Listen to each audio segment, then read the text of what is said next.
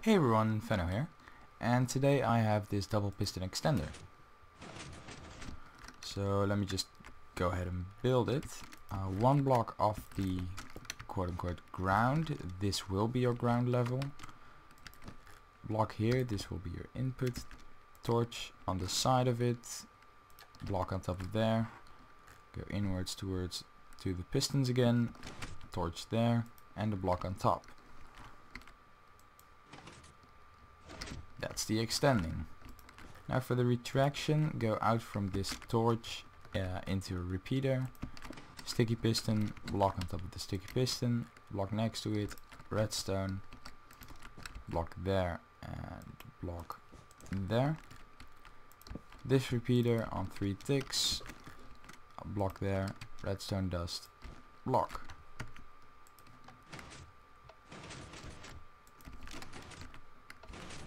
And there it works. So thanks for watching and I'll catch you all next time. Bye.